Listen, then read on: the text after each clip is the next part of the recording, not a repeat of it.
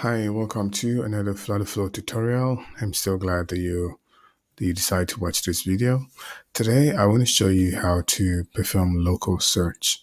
So I was going to do this with Algolia, but a couple of things came up. But yeah, a couple of things came up and I couldn't um, shoot this video with an Algolia subscription. But once I'm able to get my hands on Algolia, I will show you how to perform local search and at the same time you also search via Algolia. So there are two different things here. When you're performing via local search, you're searching a very um, tiny amount of data. I mean, the number of data that you're searching, it's super light say for example you're searching like maybe 100 rows you're searching like 50 rows you know like that. And it's not a lot. It's not returning a whole lot of content for you. And you're not featuring with so many variables that works. So what what's happening is that you're just searching locally. But if you're looking for to searching a whole lot of data with volume then Algolia, I, I do suggest that you search with Algolia. And another reason why I think you should also search with Algolia is if you're searching multiple tables at the same time. So there are some times where you want to search a whole lot of tables. For example, if you if you built a blog application and you want to search the category, you want to search post, you want to search users all at the same time, from the same keyword, then I think you should use um, Algolia to do so because on the local search, it's almost impossible for you to search more than one table at the same time. In Flutterflow, it's called document, but just just know that when I say table, I mean document all at the same time. So I let's get started with learning how to do this. So this is the recipe uh, application and I already have this, already have this right here, which is a um, a wrap. So I just use the wrap. You know, there are different things you can use here. You can use a list view, you can use a wrap, you can use a stack, depending on how you think it should work. So I'm going to go ahead and create a test run um, so that it doesn't take time for us to test this application. So this is just going to load in the background. So what I what what you do is that you go to the to the app state. Yeah, you go to the app state, create a new variable and call it list. Yeah, just just call it list of okay, yeah, just call it list and say turn it into a boolean. So boolean is a yes or no value. That's what a boolean is. Just call it a boolean. And don't forget, just leave it checked. So this list will be checked and it's going to be called a boolean. So it's going to be checked forever. So go back to our mobile application, come back here and duplicate this particular wrap into two. So I'm going to duplicate it, just duplicate. And this other wrap or search, this other wrap or list view, I'm going to call this a search result. So I'm going to call this search result.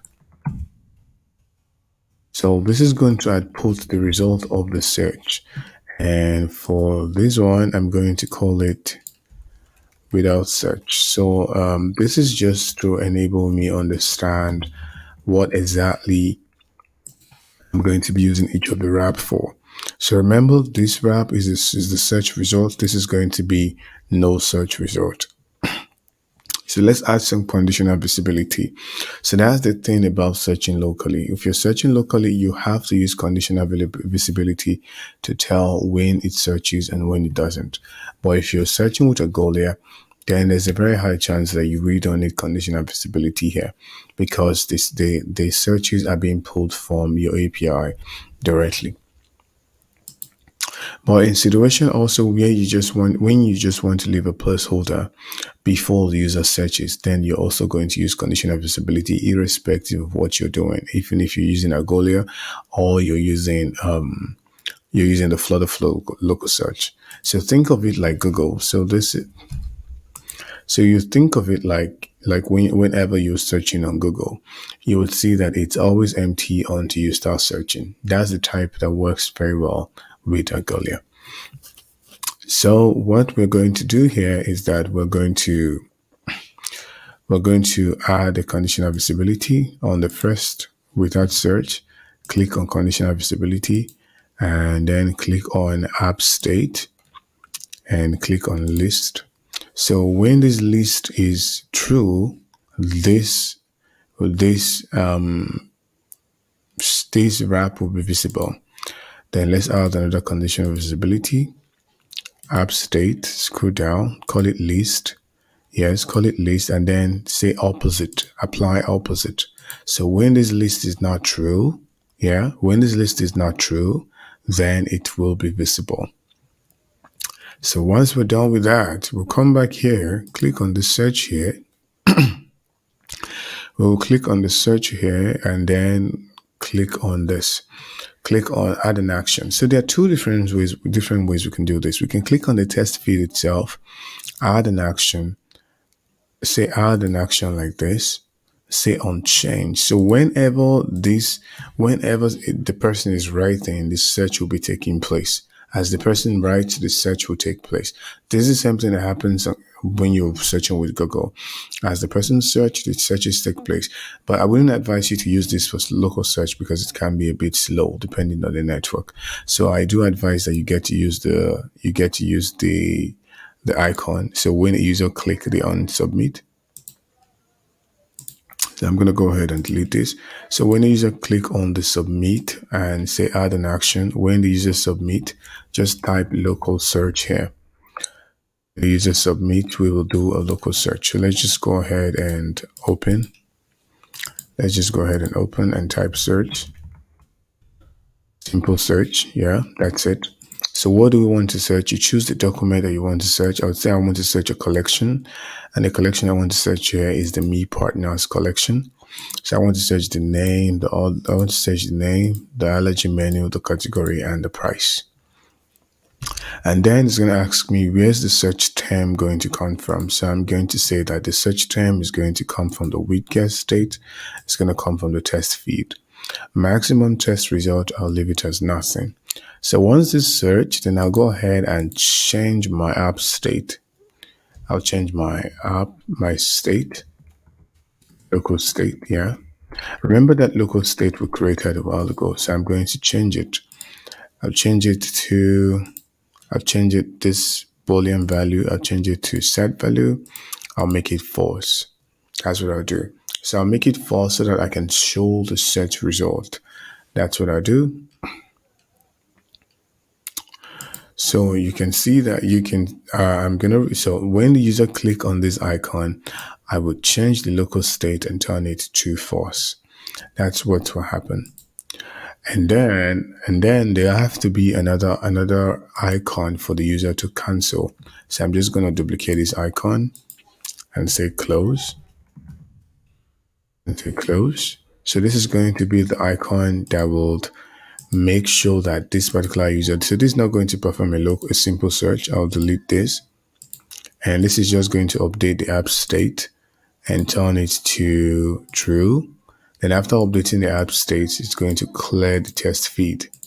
So it's just going to clear, clear the test feed.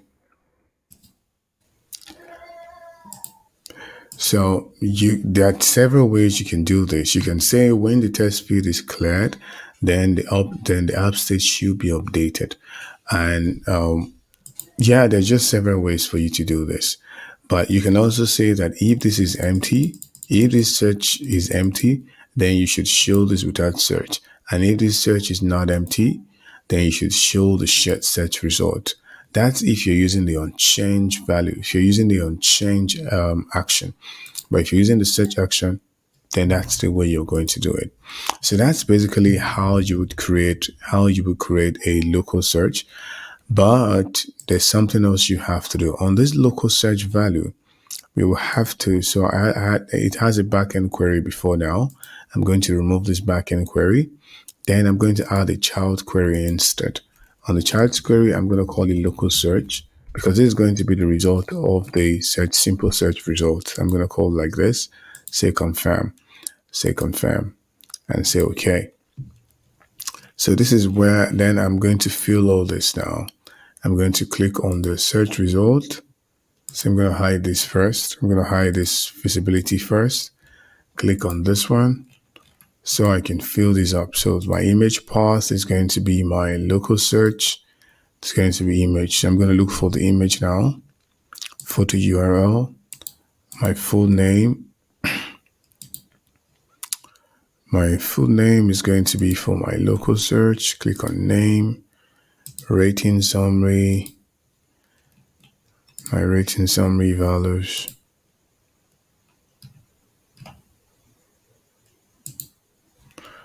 Then I'm going to click on this. There's going to be a row. This is going to be my categories.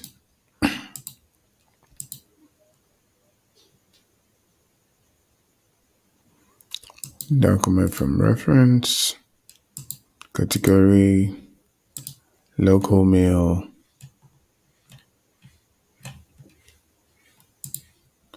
reference.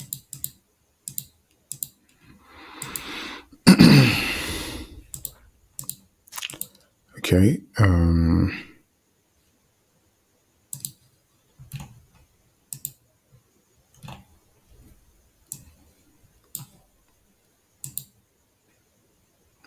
oh, okay. This is this is just the price. This is just the local me price.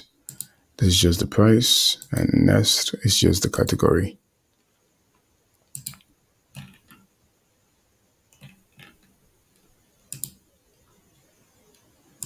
So um, Firebase query is incorrectly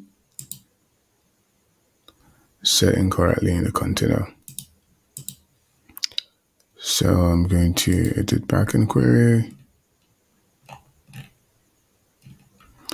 Reviews from variable, local search.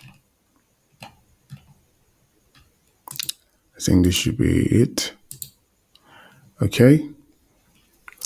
So now we have our search running. So it's time for us to try this application and see what we've done now. So um, this is the result of what we've built. It took a while for Flutterflow to load up, had to wait and come back again. So you can see this is our this is our app without the search. I mean, with no search result, this is what users will see when they come in. So, but when we type a full name, like I'm going to type in healthy.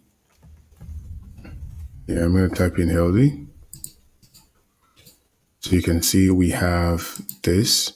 We have this right there and we can cancel. It's going to clear and come back all over again. So we type fine dining